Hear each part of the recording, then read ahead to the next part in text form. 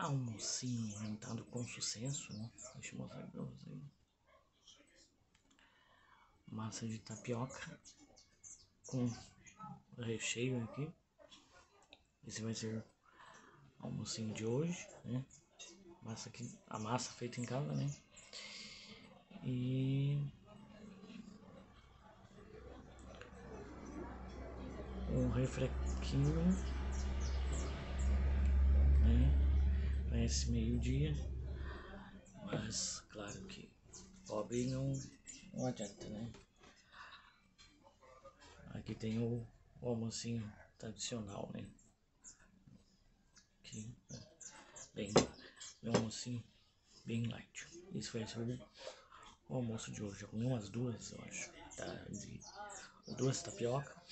E agora é, vem o tradicional almocinho.